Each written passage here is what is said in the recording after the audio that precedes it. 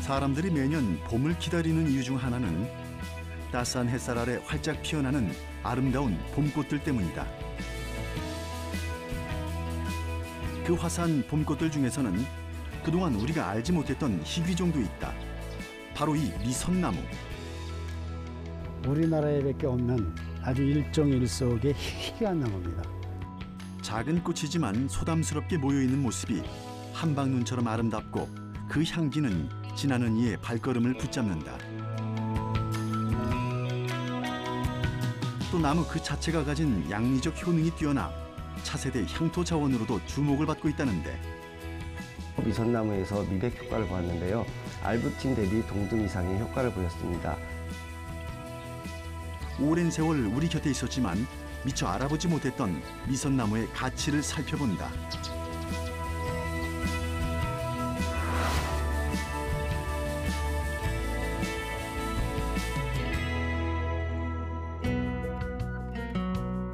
따뜻한 햇살 아래 어여쁜 꽃망울을 활짝 터트리는 봄꽃들.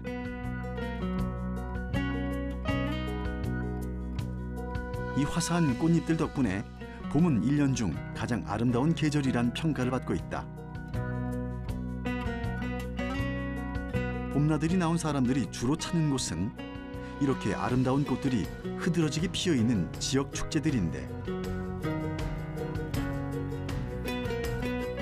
그 꽃놀이 중심에는 단연 벚꽃이 있다.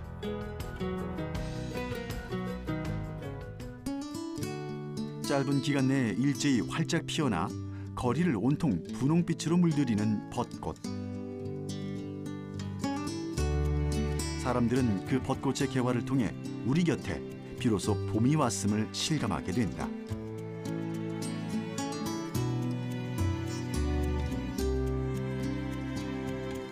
벚꽃이 특히 사랑받는 이유 중 하나는 국토 전역에서 볼 수 있고 오랜 세월 보아온 꽃이기에 어린 시절 향수를 자극하기도 한다. 지역마다 하나씩은 존재한다는 벚꽃 축제는 봄나들이에 백미로도 꼽히는데 매년 벚꽃 축제를 찾는 사람들이 점점 증가하고 있어 지역 경제에 미치는 경제적 가치도 엄청나다. 2017년 전국에서 개최되는 지역 축제 중 축제명에 벚꽃이 포함된 것만 19건이다.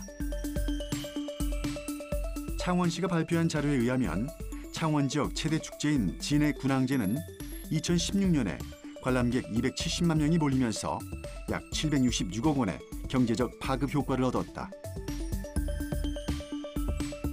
올해의 경우 국내외 관광객 290만 명이 몰렸는데 이는 지난해에 비해 20만 명이 늘었다.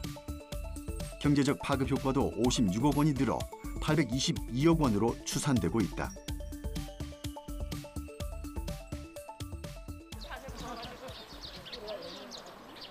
충청북도 괴산에 위치한 한 자연농원. 꽤 이른 시간임에도 불구하고 사람들이 몰려와 활짝 피어난 꽃들을 감상하고 있다.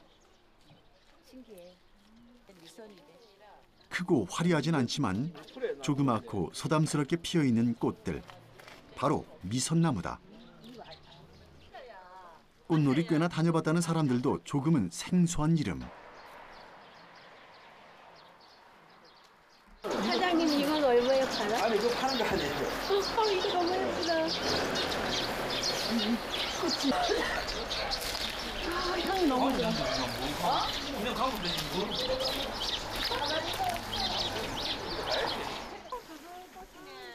오직 이 꽃을 보고 또 향기를 맡기 위해 불편한 몸을 이끌고 먼 길을 달려온 사람들도 많다.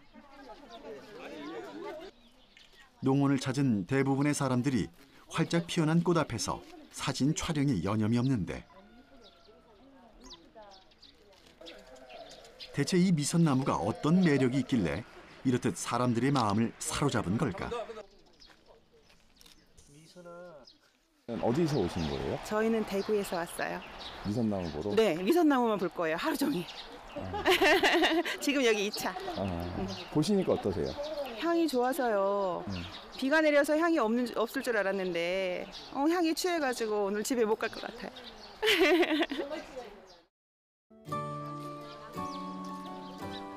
괴산의 명물 미선나무는 벚꽃보다 개화 시기가 일주일 정도 빠르다.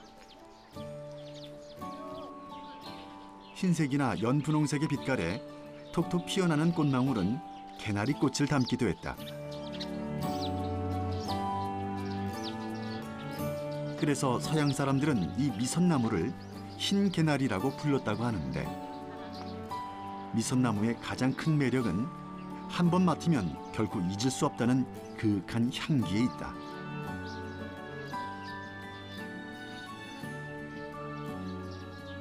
더 놀라운 것은 이 미선나무가 우리나라에서만 자생하는 일속일종의 식물이라는 점, 즉 사촌 식물이 없다는 의미다.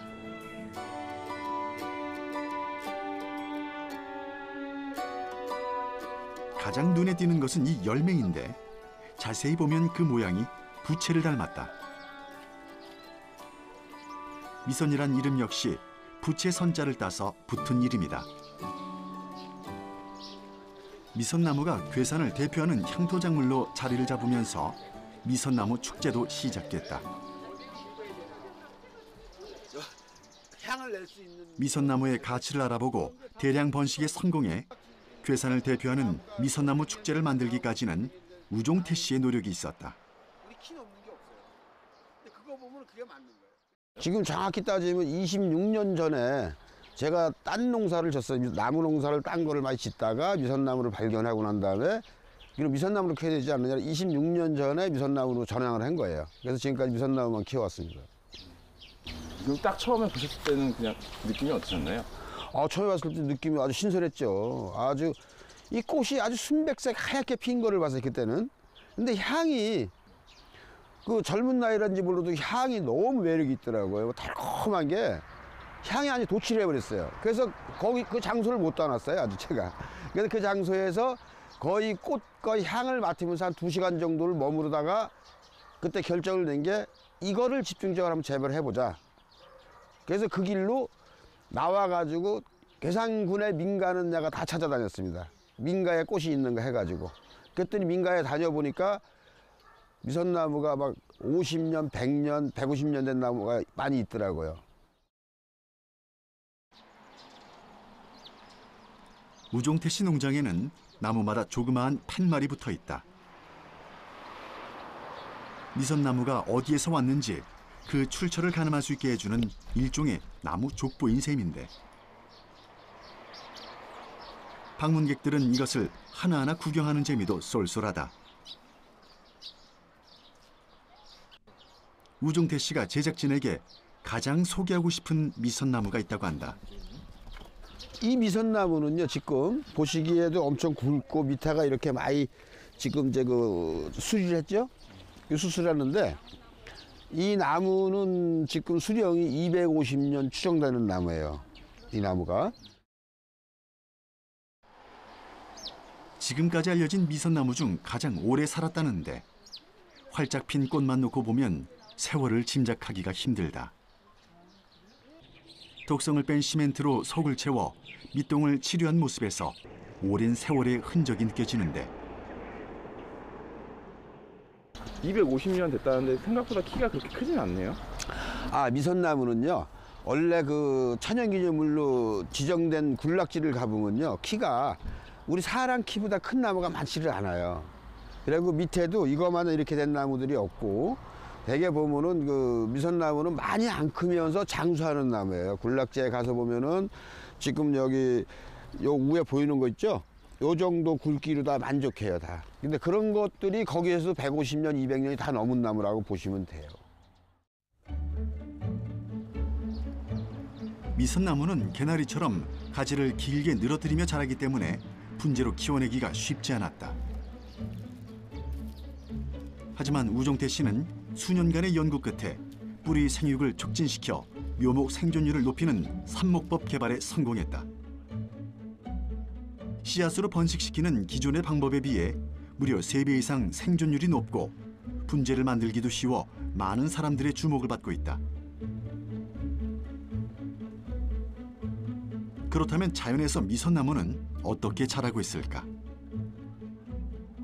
또 천연 기념물로 지정됐다는 미선나무 자생지는 현재 어떤 모습일까? 제작진은 전문가와 동행해 괴산에 위치한 미선나무 자생지를 살펴보았다.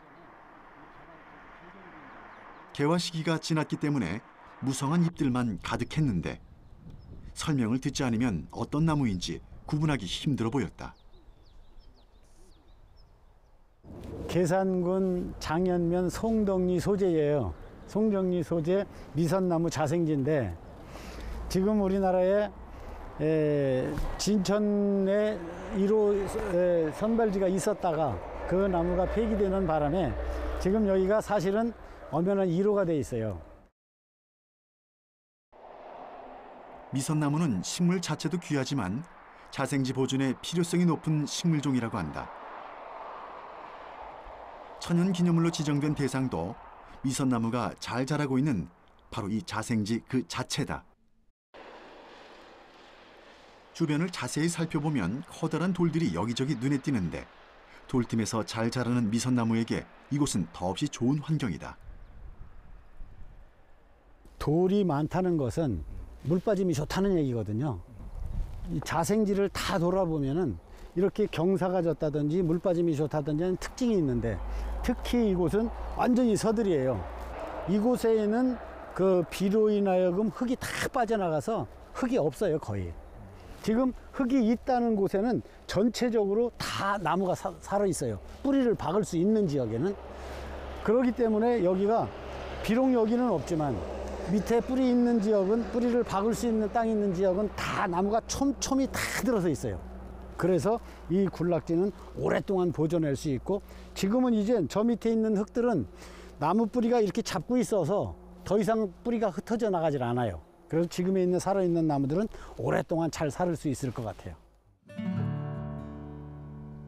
산자락 비탈진 곳과 돌틈 그리고 햇빛이 많은 곳에서 잘 자라는 특징을 갖고 있는 미선나무. 키가 크지 않기 때문에 옆에 큰 나무가 있다면 햇볕을 받지 못하고 고사할 확률이 높다. 그만큼 환경의 영향을 많이 받는 나무라는 의미다. 지금 요 앞에 있는 나무가 이 도토리 나무인데 이 도토리 나무의 특징은 일년에 보통 7, 80에서 1m를 커요. 만약에 2년 내지 3년만 여기를 관리를 안 해준다면 이 나무가 이 주변에 있는 이 미선나무를 다 덮어버리고 말아요. 그래서 지금 이 나무가 지금 20cm, 30cm밖에 안 된다는 얘기는 작년도에도 관리를 철저하게 잘 해줬다는 증, 증거가 이 도토리 나무에서도 지금 나타나고 있습니다. 대체로 야산에 자생지를 이루고 있는 미선나무는 다른 나무들이 잘 살지 못하는 황폐한 곳을 스스로 선택한다. 이것은 키가 큰 나무들에 비해 생존 경쟁력이 떨어지는 것을 극복하기 위한 독특한 생존 전략이기도 하다. 그렇기 때문에 이렇게 잘 보존된 미선나무의 자생지는 천연 기념물로 지정될 만큼 가치가 높다. 미선나무와 천연 기념물로 지정된 그 자생지의 가치를 보다 자세히 살펴보기 위해 제작진은 대전에 있는 천연 기념물 센터를 향했다.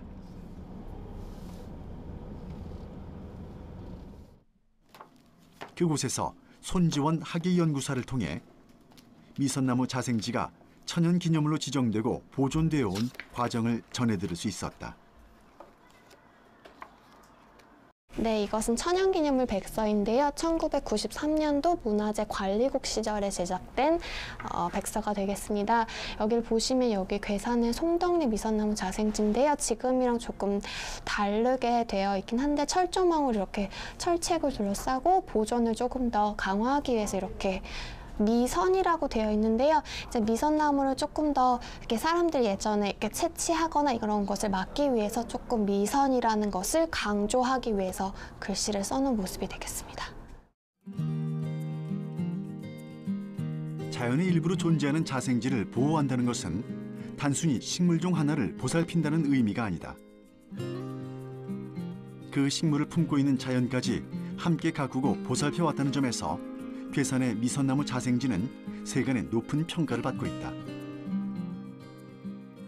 진천의 미선나무가 1962년도에 가장 최 초기에 지정된 자생지 중에 한 곳입니다. 근데 어, 그 당시 일제 강점기에 이제 일본인 학자에 의해서 처음 이게 발견이 되어서 이제 학명이 만들어지고 미선나무라고 해가지고 지정이 됐고요. 그 다음에 이제 뭐 한 번 해제가 되었고 이제 청, 그 이후에 이제 괴산의 미선나무라든지 영동이나 부안의 미선나무가 순차적으로 지정되었습니다. 그래서 현재는 전국에 총 다섯 군데 미선나무 자생지가 있습니다. 천연 기념물로 지정된 전국 다섯 곳의 미선나무 자생지 중 괴산군 내에만 세 곳이 존재한다. 나머지는 충북 영동과 전북 부안에 각각 하나씩 자리 잡고 있다. 제일 먼저 천연 기념물로 지정됐던 진천 자생지에는 현재 기념비만 남아 있다.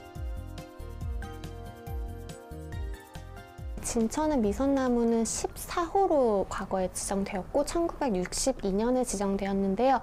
번호만 보더라도 가장 초기에 지정된 미선나무 자생지임을 알 수 있습니다.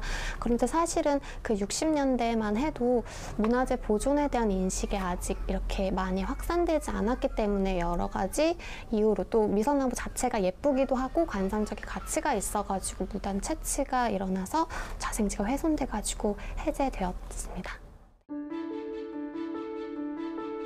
다행스러운 것은 꾸준한 복원 노력이 이루어지고 있다는 점인데 진천군은 몇 년 전 기념비 부근에 100여 그루의 미선나무를 심었다. 한때 천연 기념물로 지정됐던 원조 자생지를 복원하고자 하는 열망이 이어지고 있는 것이다. 환경부에서는 2001년 미선나무를 멸종위기 야생동식물 2급으로 지정했다. 또 산림청이 지정한 희귀식물 명단에도 올라 있는데 귀한 식물종이다 보니 천연기념물센터 앞 마당에도 미선나무가 자라고 있다. 2000년대 사람들에게 미선나무의 존재를 알리기 위해 150여 그루를 옮겨 심었다고 한다. 여기가 전국의 한 곳뿐인 천연기념물센터 전시관이기 때문에요. 일반 시민들을 대상으로 해서 전국에 있는 천연기념물을 조금 간접적이나마 체험하실 수 있도록 이렇게 조성해 놓은 것입니다. 이미 꽃은 다 지고 말았지만 스스로가 미선나무임을 증명하는 듯 고운 부채 모양으로 매달려 있는 열매가 바람이 불 때마다 사람들의 시선을 사로잡는다. 반응은 어떠세요? 봄 꽃이 피거나 이러면? 일단 향기 자체가 너무 좋기 때문에 이렇게 바람이 한번 불고 꽃 피는 시기에 오시면 향이 먼저 좋다는 걸 인식하시고요. 그리고 꽃이나 이제 열매가 매우 특이하고 예쁘기 때문에 보면 좋아라 하시는 것 같습니다. 보시면 이렇게 열매가 이렇게 하트 모양의 부채 모양으로 예, 특이하잖아요. 그래서 이런 부분들을 아이들에게도 교육 삼아 알려주시고 하신 것 같습니다.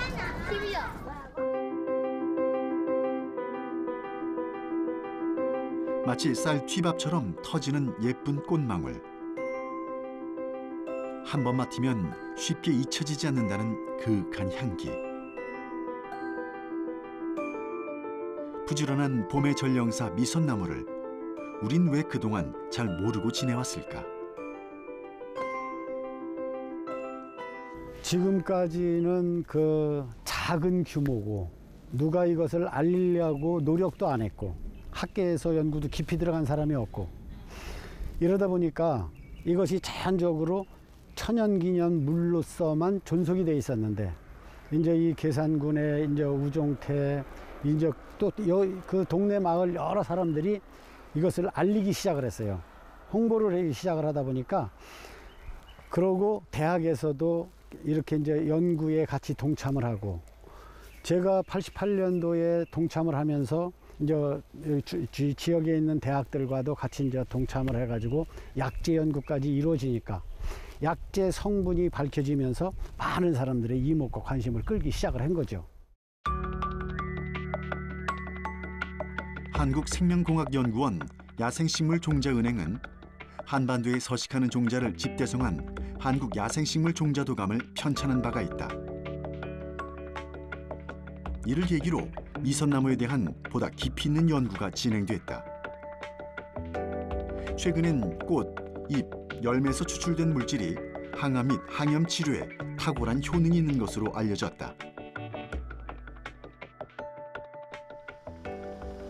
제작진은 미선나무의 성분을 분석하고 연구했다는 서원대 연구팀을 찾았다. 미선나무의 생리활성 물질을 찾기 위해서 노력을 했고요. 그 중에 있는 생리활성 물질의 최저 수출 조건과 성분 분석에 대한 노력을 했습니다. 미선나무의 성분 분석은 어떤 과정을 통해 이루어질까? 추출 실험은 보통 초음파 추출, 열수 추출, 침지 추출로 저희가 진행을 했는데요. 추출기에 따라서 유효 성분 함량의 추출율이 달라지기 때문에 최적 추출 조건, 즉 추출기를 어느 걸 사용했을 때 추출 조건이 좋은지를 확인하기 위해 현- 처음 실험하는 장비가 되겠습니다.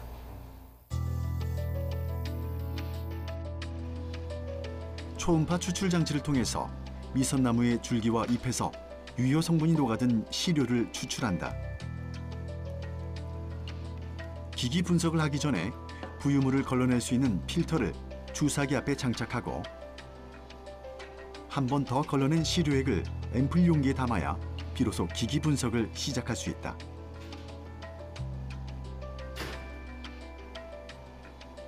과연 미선나무의 잎과 줄기에는 어떤 성분이 포함되어 있을까?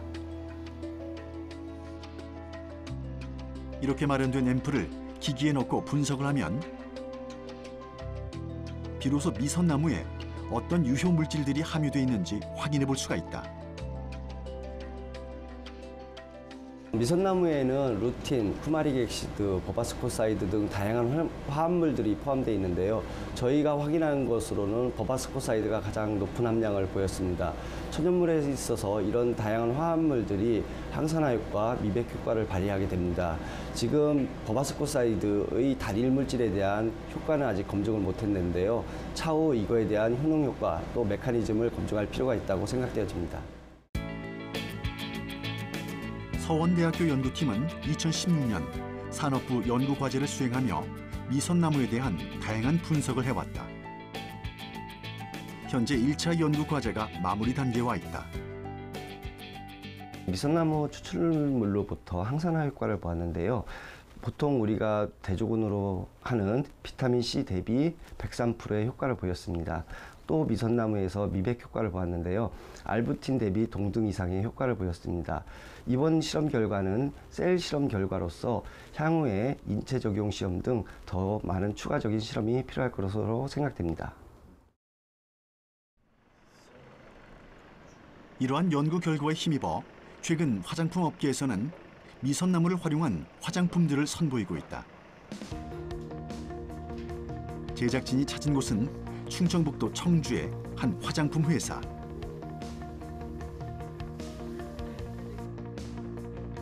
연구실에선 화장품 원료 테스트와 제품 개발이 한창 진행 중이다. 이 회사는 정제수 대신 미선나무 추출수를 이용해 화장품을 제조하고 있다. 정제수는 화장품 제조에 가장 큰 배합 비율을 차지하기 때문에 화장품의 효능이나 안전성과도 밀접한 관련이 있다고 한다.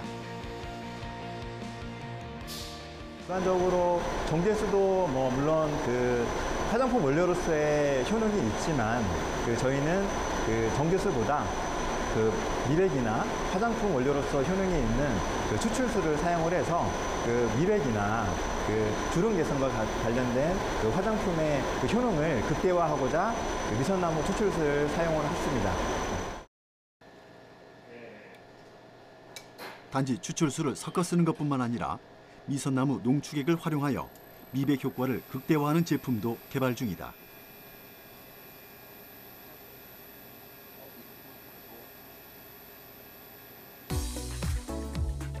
미백 효과는 기본이고 항염과 항알러지, 더 나아가는 항암 효과에 대한 연구가 꾸준히 이루어지고 있는 만큼 미선나무의 가치는 앞으로 점점 더 높아질 전망이다.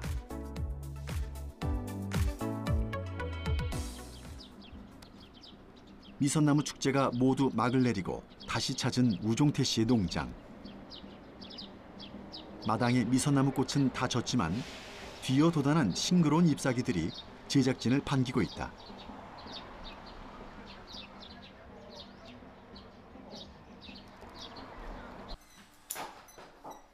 이제 우종태 씨는 그동안 방문객들을 맞이하느라 미뤄놨던 작업의 한창이다. 뒤늦게 개화한 미선나무 꽃을 이용해 집에서도 손쉽게 만들 수 있는 향수와 비누 제품을 연구 중이라는데 그 과정을 자세히 살펴보기로 했다. 이거를 이제 중육에 넣고 중류를 시키면은 미선나무의 고유의 향이 그대로 나와요 꽃에. 그 그걸 가지고 이제 우리가 뭐 비누라든가 화장수라든가 뭐 이런 걸 이제 만들죠. 특수 용기에 잘게 잘라낸 미선나무에 꽃과 줄기를 함께 넣는다. 작업 과정에서 풍겨져 나오는 은은한 꽃 향기가 제품에 대한 기대감을 높여주는데 여기에 깨끗한 생수를 붓고 증류를 시키면 집에서도 미선나무 추출액을 얻을 수가 있다. 우종태 씨는 아주 오래전부터 이 미선나무 추출액을 피부 트러블이나 아토피를 완화시키는 데 활용해 왔다고 한다. 부인 이명자 씨 역시 미선나무 덕분에 천연 화장품을 만들게 됐는데 식물성 그리세린과 미선나무 추출액을 비율에 맞춰 섞기만 해도 피부에 자극이 적은 천연 화장품이 만들어진다. 시판되는 용기에 담아서 가지고 다니면 미스트로도 활용할 수 있다는데 미선나무 추출액으로 만든 비누는 주변 사람들에게 선물용으로 인기가 좋다.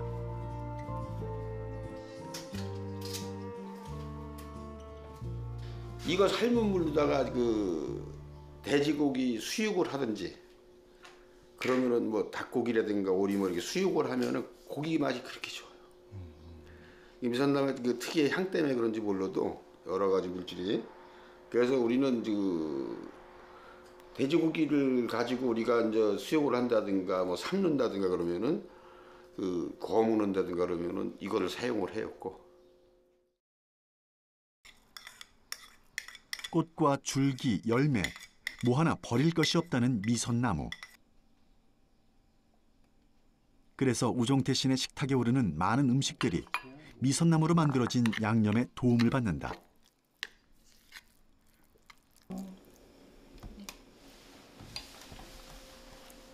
음, 맛있어. 잡숴봐. 맛있어. 너무 맛있어. 아니 진짜야. 이게 괜히 이거 못 먹어 저기 안 먹어본 사람도 후회할 거야 나중에. 된장을 비롯해서 미선나무 식초, 미선나무 조청 등 다양한 양념장들이 미선나무 추출액을 기반으로 만들어진다. 맛은 기본이고 벌레를 막아주고 잡내를 없애는데도 그만이라고 한다.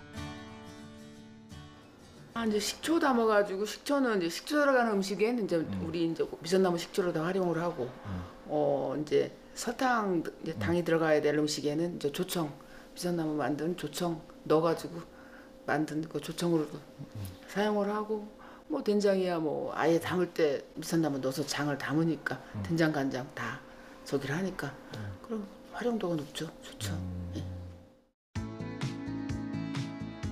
이렇게 다방면에 활용이 가능한 미선나무는 2015년 맛의 방주에 등재되기도 했다. 맛의 방주는 비영리 기구인 슬로푸드 국제본부가 진행하고 있는 전통 음식과 문화 보전 프로젝트 중 하나다. 미선나무의 가치를 세계적으로 인정받은 쾌거가 아닐 수 없는데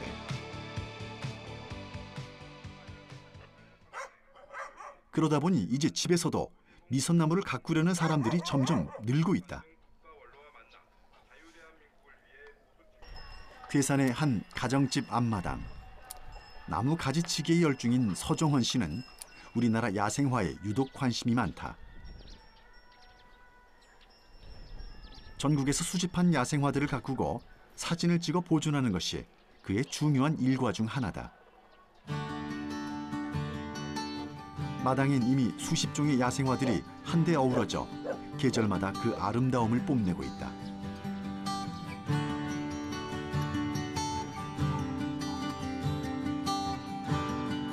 꽃잎 한 장 한 장 푸른 잎사귀들.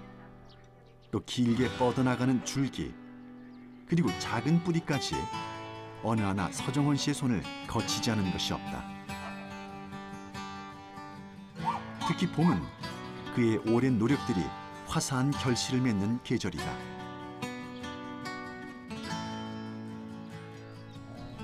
마당 한켠에 자리 잡은 미선나무도 서정원 씨가 아끼는 나무 중 하나다. 그는 자연스럽게 미선나무 군락이 형성될 수 있도록 조성해 놓았다.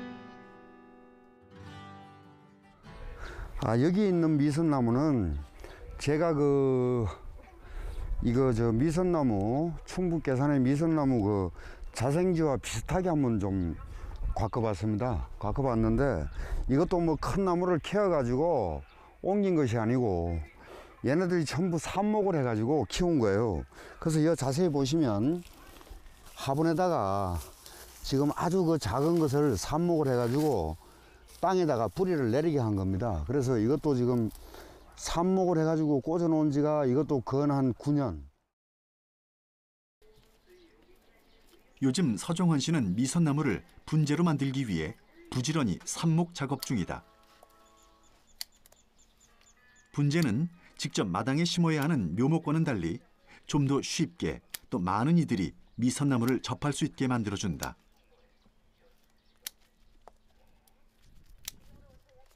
꽃의 그 향기로움이 아주 뭐 대단합니다. 예, 대단하고 또 하나는 그 추위에 강하다 보니까 그 일반인들이 키우기에 굉장히 그 힘들지가 않고 어, 조금만 신경 써주면 아, 키우기가 상당히 좋습니다. 예. 그래서 저도 좀 분재식으로 해가지고 좀 키워가지고 아는 지인들한테 나눔을 할까 해가지고 키우고 있습니다. 일단 미선나무를 알게 되면 주변 사람들에게도 그 가치를 알리고 싶은 게 식물을 아끼고 사랑하는 사람들의 마음이다. 이런 노력들 덕분에 최근 들어 많은 사람들이 미선나무의 존재를 알게 됐지만 아직 대중화되기에는 갈 길이 멀다는데 그 이유는 무엇일까?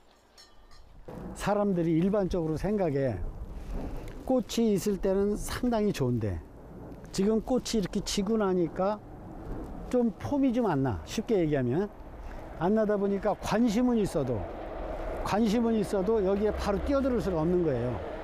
지금 이 이제 그 저기 같은 경우에는 이제 벚꽃 같은 경우에는 지방자치단체에서 너도 나도 할 것 없이 막 뛰어들어 가지고 벚꽃 단지를 만들고 막 이렇게 해놨어요. 그것은 나무가 크고 해놓으면 빨리 효과가 나오니까. 자세히 봐야 예쁘고 직접 향기를 맡아야 반하는 미선나무를 대대적으로 알리기 위해서는 꾸준한 노력이 필요하다. 유세걸 박사와 우종태 씨는 벌써 수년째 그 작업을 해오고 있다. 오늘은 미선나무를 어디로 데려가는 걸까? 아, 이건 20년 아주 실하고 좋다. 예. 우종태 씨가 그동안 정성 들여 키운 미선나무 몇 그루를 다른 지역으로 시집 보내는 날. 충청북 도에서 그 아, 초등학교나 중학교나 고등학교를 선정으로 해가지고 숲 가꾸기 학교를 만드는 데가 있어요. 그 달천 초등학교라고. 달천 초등학교에는 이렇게 동산을 만들고 산림청에서 나무를 심어준 데 장소가 있어서 그 중심부에다가 요 우리나라 천연기념물 이것을 갖다 좀 심어가지고 여러 사람들한테 홍보를 하고 싶었고 그게 지금 홍보할 자리를 마련을 했습니다. 나무를 옮겨 심기에도 더할 나위 없이 좋은 계절. 한참을 달려 도착한 곳은 충주의 한 초등학교다. 운동장 곳곳에 푸릇푸릇한 나무들로 잘 가꾸어진 정원이 눈에 띈다.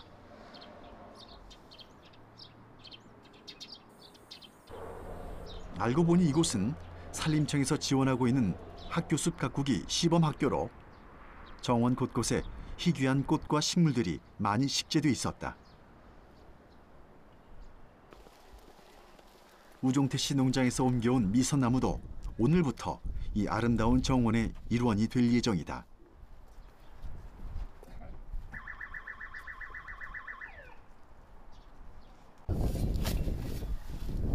덕분에 이 초등학교 아이들은 우리나라 고유종 미선나무의 가치를 일찌감치 알아볼 수 있다.